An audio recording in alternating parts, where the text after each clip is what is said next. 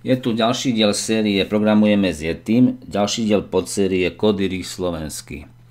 Venujem sa tu tréningu, som v časti Začiatočník, v kapitole Najdi, level číslo 2. Level číslo 1 sme si ukázali, ako, sme ako nájsť pomocou metódy Find v poli záporných čísel prvé záporné číslo. Metóda Find funguje samozrejme aj v prípade, že máme iný typ pola. Nemusia to byť iba čísla. V dnešnej lekcii si ukážeme, ako nájsť pomocou tej metódy Find prvú drahú knihu v poli knih. Vytvoríme si teda najskôr to pole knih. Takže knihy rovná sa pole. Budú to objekty. Prvým objektom bude kniha.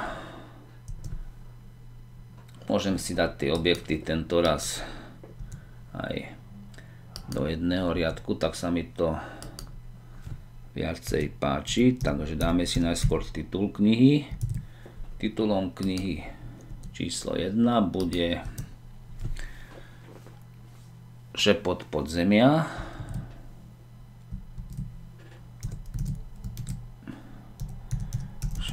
Podzemia a bude nás zaujímať cena tej knihy. Takže cena. Pozriem si ozajstnú cenu, mám tú knihu pri sebe 13,58. To nebude reťazec, takže úvodzovky fuč 13.58 v JavaScripte sa miesto desatinnej čiarky používa desatinná bodka, na to netreba zabúdať. Takže prvý prvok pola, prvý objekt máme. Môžem si to nakopírovať, bude to rýchlejšie. Druhým titulom bude strom obesencov. Strom obesencov. A cena 14.01 14.01 A ešte jeden titul. Tu koncovú čiarku odstraním, ale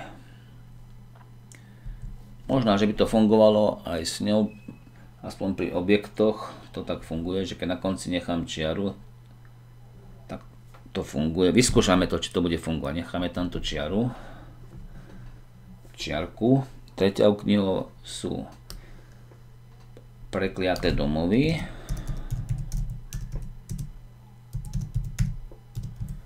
Cena bude opäť 14.01. No a vytvoríme funkciu, ktorá nám vráti prvý drahý titul.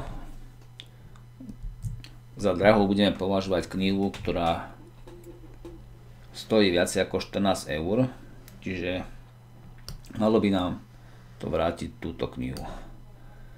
Ideme definovať tú funkciu. Funkcia nájdi drahú knihu. Ako parameter použijeme knihy. No a